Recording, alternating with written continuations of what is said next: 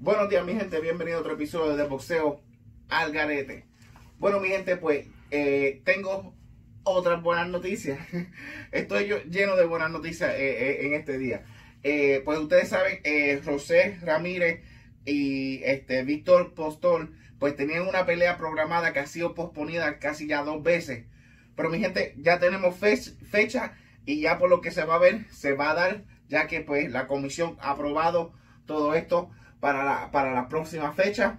Y pues se espera que Víctor este, eh, llegue para entrenar, para comenzar el entrenamiento con Freddy Roche en esta semana. José ya empezó a entrenar y se espera que la pelea sea, sea para por lo menos para mitad de julio.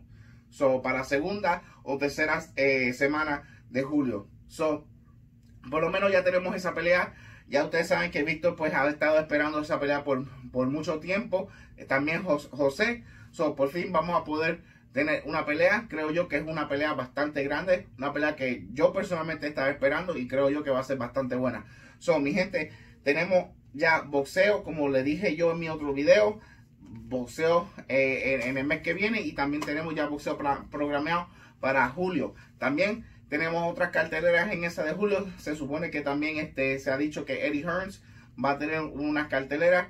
Um, y también pues Golden Boy también tiene planeado unas carteleras para julio 4 y también para julio 15.